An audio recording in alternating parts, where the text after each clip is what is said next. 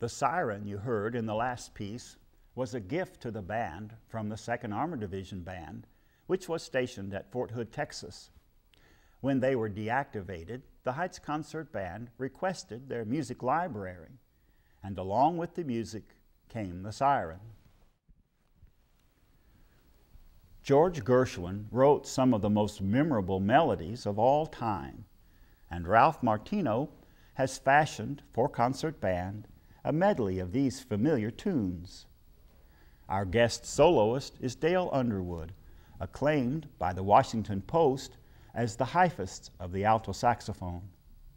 Mr. Underwood is internationally recognized as one of the foremost classical saxophonists of our time he had a 30 year career with the U.S. Navy Band in Washington, D.C., and for 29 of those years, he was chief alto sax soloist.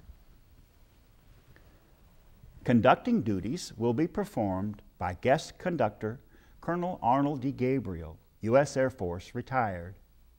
Colonel Gabriel is conductor emeritus of the U.S. Air Force Band in Washington, D.C and has performed in all 50 states and in 50 countries around the world.